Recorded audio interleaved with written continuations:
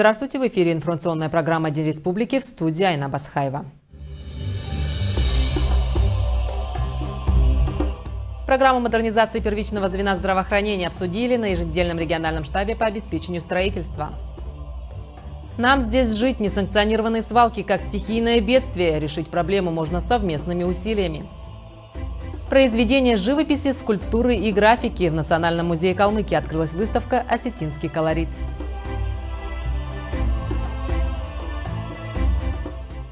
Глава Калмыкии Бату Хасиков провел заседание еженедельного регионального штаба по обеспечению строительства, реконструкции, капитального ремонта объектов капитального строительства. В частности, речь шла о реализации в текущем году региональной программы модернизации первичного звена здравоохранения. Участники совещания уделили внимание проектно-сметным документациям 9 офисов врачей общей практики в районах Калмыкии. Руководитель региона подчеркнул, что необходимо на каждом этапе держать прямую связь с подрядчиками, чтобы строительство объектов было выполнено на достойном уровне. Председатель правительства Юрий Зайцев также отметил эффективность взаимодействия с подрядными организациями. Заместитель министра здравоохранения Галина Динкиева сообщила, что в первом квартале этого года РМО определили и передали медицинским организациям безвозмездное пользование земельные участки под капитальное строительство объектов. Также уже разработана проектно-сметная документация для строительства типового офиса в поселке Песчаный Приютнинского района. В завершение Батухасиков проинспектировал уровень готовности городской детской поликлиники. Важно, чтобы вот уже сейчас те люди, которые здесь будут руководить и работать непосредственно, чтобы для них все было понятно. То есть, чтобы в день открытия здесь уже была полноценная работа, четкая работа, которая будет продолжаться уже на протяжении всего времени. И этим надо заниматься.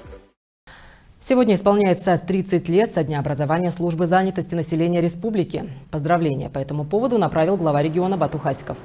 Он отметил, что за 30 лет в Калмыкии трудоустроены более 150 тысяч граждан, более 4 тысяч жителей республики получили финансовую поддержку для открытия собственного дела, около 16 тысяч безработных граждан получили возможность пройти профессиональное обучение и получить дополнительное профессиональное образование. Вы занимаетесь благородным делом, защищаете трудовые права граждан, помогаете людям, оставшимся без работы, поддерживайте их. Ваш труд неоценимо важен для наших жителей, говорится в поздравлении главы. Сегодня в состав учреждения входят 14 центров занятости населения, в которых трудится 109 специалистов. Осталась неделя до конца регистрации на конкурс «Лидеры России». Участники в возрасте от 21 до 55 лет могут побороться за грант в размере 1 миллиона рублей. Попасть в кадровый резерв страны. В этом году к существующим семи направлениям добавился еще один трек – информационные технологии, цель которого – выявить специалистов с высоким потенциалом, способных создавать будущее с помощью цифровых технологий. Что даст трек информационные технологии нашим участникам? Ну, во-первых, это конкурс призван, трек призван выявить специалистов э, э, с высоким потенциалом, способных создавать будущее с помощью цифровых технологий.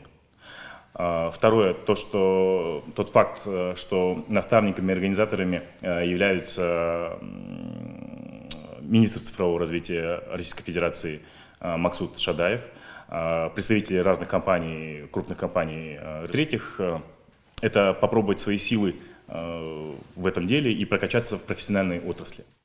В проекте «Лидеры России» активное участие принимали и наши земляки, среди них советник главы Калмыкии, суперфиналист третьего сезона Андрей Чеджиев.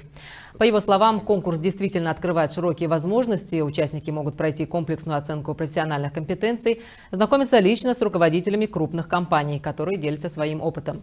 Ну а средства выигранного гранта Андрей Чеджиев направил на обучение в Российской Академии Народного Хозяйства и Государственной службы при президенте Российской Федерации. Очень неплохие бонусы. Это образовательный грант, миллион рублей, который я вот сейчас потратил на обучение в высшей школе госуправления в Ранхиксе. Также еще а, это знакомство с преподавателями, губернаторы разных регионов, там вице-премьеры, как федерального, так и регионального масштабов. Также это люди там, из проектного офиса правительства, аналитического центра при правительстве, с, с некоторыми из которых вот сейчас, например, я нахожусь на связи и консультируюсь по каким-то вопросам. Так что конкурс дает много уникальных возможностей, призывая всех принимать участие. В Калмыкии за последние сутки прирост составил 9 случаев заболевания коронавирусом. В тяжелом состоянии находится 11 пациентов, из них 4 на ИВЛ. С начала пандемии зарегистрировано 331 летальный исход. Выздоровели, согласно последним данным, 24 человека. Госпитализировано в инфекционной больнице 202 жителя республики. В режиме домашней изоляции находится 516 человек. За прошедшую неделю на дорогах республики зарегистрировано 10 дорожно-транспортных происшествий, в которых 20 человек получили травмы различной степени тяжести. Кроме того, 25 водителей, которые находились за рулем в нетрезвом состоянии, отстранены от управления автомобилем. 15 апреля в 14 часов 10 минут 65-летний местный житель, управляя автомашиной ВАЗ-2115, осуществляя левый поворот с улицы Гобаревича на улицу Ленина города Элиста, не убедился в безопасности своего маневра и совершил наезд на трех пешеходов, переходивших проезжую часть по пешеходному переходу на разрешающий сигнал светофора. В результате наезда в медицинское учреждение с травмами различной степени тяжести доставлены пострадавшие пешеходы, двое из которых несовершеннолетние. 16 апреля в 14 часов 12 минут 30-летний житель Республики Дагестан, управляя автомашиной «Лада Гранта», на 93-м километре автодороги Яшкуль-Комсомольск-Артезиан, совершая маневр обгон, не убедился в безопасности маневра и создал помеху автомашине Volkswagen Polo, двигавшейся во встречном направлении, которая во избежание лобового столкновения выехала на обочину и совершила опрокидывание транспортного средства. В результате ДТП в медицинское учреждение с травмами различной степени тяжести доставлены водитель и три пассажира автомашины Volkswagen Polo. Стихийные свалки на сегодняшний день продолжают оставаться одним из самых распространенных видов правонарушений в сфере экологии. Обычный мусор, который зачастую принято называть бытовым, это не только пластик, металл и стекло, но и батарейки, ртутные лампы, электроприборы. Ежедневно недобросовестные жители республики и работники различных предприятий вывозят сотни килограммов мусора. Ведется ли борьба в этом направлении, узнавала наша съемочная группа. Тонны мусора, словно холмы, расположились в степи со стороны главного въезда в город. Все это бытовые отходы, пластик, пакеты стеклотара. Степь завалена стройматериалами и коммунальным мусором. А вот чего никак не ожидалось увидеть, останки крупного рогатого скота лежат буквально возле дороги. Руководство Элисты поручило работникам городского зеленого хозяйства ликвидировать свалку. Главой города поставлена задача э, вычистить все несанкционированные свалки э, в городе и предгородской территории. Призываем э, всех жителей нашего города, э, чтобы берегли, потому что в первую очередь это не просто мусор, э, пакеты, это получается тоже ртутные лампы, пластик, который очень тяжело влияет на экологию нашего города, наших горожан. И как сообщил Башенкаев, для освобождения степного массива от мусора к работе подключены два КАМАЗа, четыре газона, два бульдозера, три погрузчика и два автогрейдера. Управиться планируют до 24 апреля. Ответственных за разрастание несанкционированных свалок ждет административный штраф от 1 до 2 тысяч рублей для граждан, а вот штраф должностных юридических лиц, а также предпринимателей колеблется от 30 до 250 тысяч рублей. При обнаружении нарушителей работники городского зеленого хозяйства просят сразу же обращаться в правоохранительные органы. Выявляет административно-техническая инспекция, она работает э, согласно э, штатному режиму, mm-hmm. согласно графику. Вот, и выявляет нарушения. Ну, трудно, конечно, заметить э, и увидеть сразу.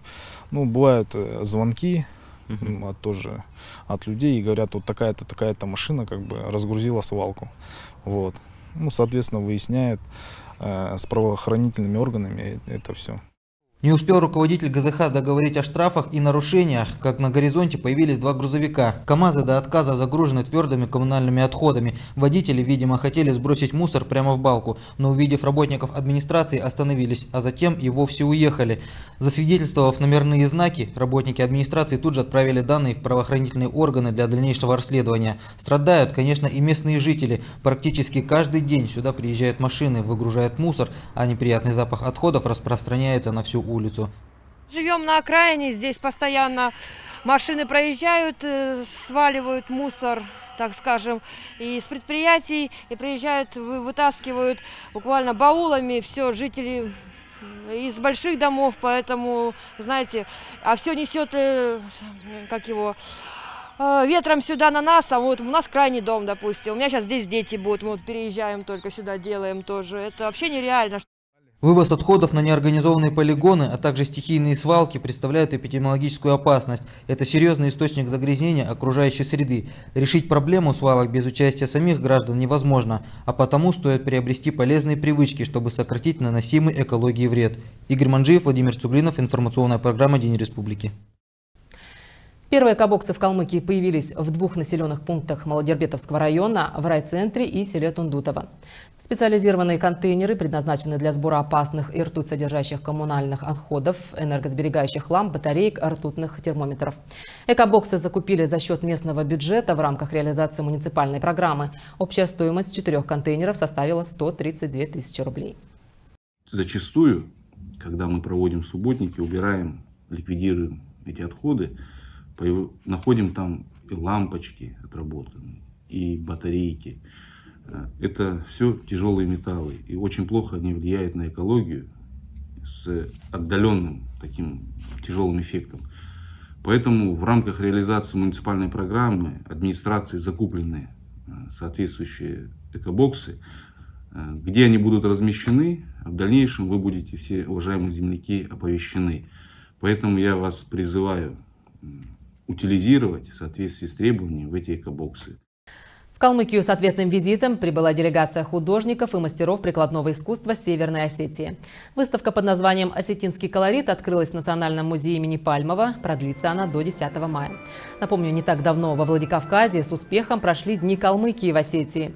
Ну а в Элисту гости привезли более 100 работ, которые призваны познакомить посетителей музея с богатым культурным наследием осетинского народа. Мы 1 апреля проводили выставку калмыцких художников Осетии. У нас были Дни культуры в Осетии. Сегодня делегация из Осетии прибыла к нам с ответным визитом. Они представили около 100 живописных полотен, э, народно-художественные промыслы, здесь ювелирные изделия, керамика, костюмы национальные. В свою очередь, гости Степной Республики считают, что каждая нация обязана не только чтить свои традиции и культуру, но и открывать их для других народов. Знакомясь с культурой другого народа, человек обогащается. И есть э, удивительно глубокие слова у Рабиндраната Тагора. Долг каждой нации выявить перед всем миром свою национальную сущность, свою национальную культуру. Если же нации нечего дать миру, то это следует рассматривать как национальное преступление. Это никогда не прощается историей. Я думаю, что у калмыцкого народа есть богатейшая культура, богатейшая история, так же, как и у Осетии. Ну, надеемся, что в будущем уже на уровне Министерства культуры это будет на достойном уровне, чтобы э, жители Калмыкии познакомились с традицией Осетии. А традиция, она видна не только в картинах, она видна каждом изделии прикладного искусства, в ремесле. Она видна в танце. То есть, когда увидят танец, поймут, э, какая красота и грация астинских э, традиций идет в танце. А 22 апреля в Калмыкии стартует большая туристическая эстафета. В ходе экспедиции общественники, блогеры и организаторы автопробега «Национальная платформа «Живое наследие» будут проводить общественные дискуссии, запланированные также и встречи с руководством регионов, представителями сферы культуры, туриндустрии. Кроме того, в ходе эстафеты с юга на север предполагается посещение и продвижение достопримечательностей и номинированных в конкурсе культурных и туристических брендов России, а также поиск новых локальных культурных брендов в регионах. В 2019 году были проведены исследования и выбраны топ-500 ключевых культурных брендов России. В список вошли «Золотая обитель Будды Шакьямуни», «Степь цветущих тюльпанов» и «Калмыцкий чай Джамба». Выпуски новостей, а также другие передачи нашего телеканала смотрите в цифровом вещании канала ОТР на 21 кнопке в IPTV «Зеленой точки» и Ростелекома и на официальном аккаунте в Instagram realcalm.ru. Ну а на этом у меня все. До встречи.